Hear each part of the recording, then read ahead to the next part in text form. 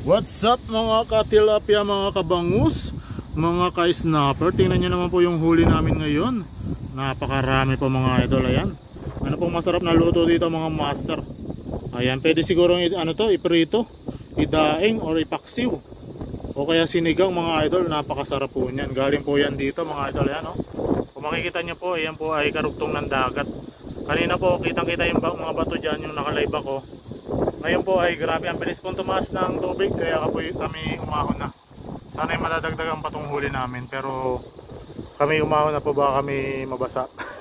Ayan, supportahan nyo rin po Axel Lay TV Vlog. Ayan, huwag nyo pong kakalimutan. Baguhan lang po siya mga idol. Axel Lay TV Vlog.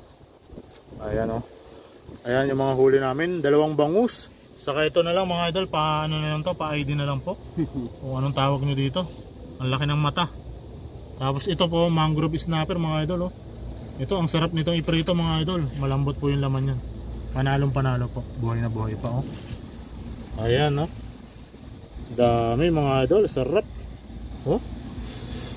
ang sarap sarap naman ito mga idol. Ayan. Pangatlong huli na po namin ng bangus to. Nung nakaraan nakahuli po kami ng isang bangus. Ito na po yung pangalawa pangatlo. Parami po ng parami yung huli namin Nung nakaraan isa, ngayon ay dalawa. Sa susunod naman siguro tatlo. Parami po ng parami yung huli naming bangus. Ayan. Mawala na yung tilapia. Hanggang sa mawala na po yung mga tilapia. Ayan.